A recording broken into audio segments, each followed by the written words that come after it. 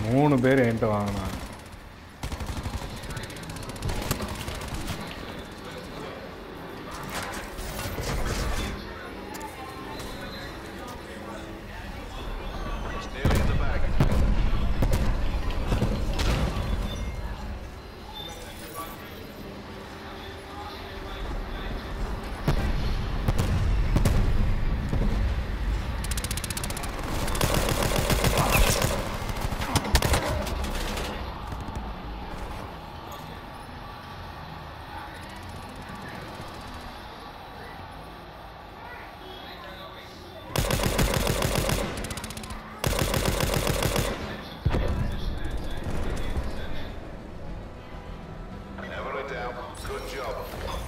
நான் man of the match வர வாய்ப்புகள் இருக்குது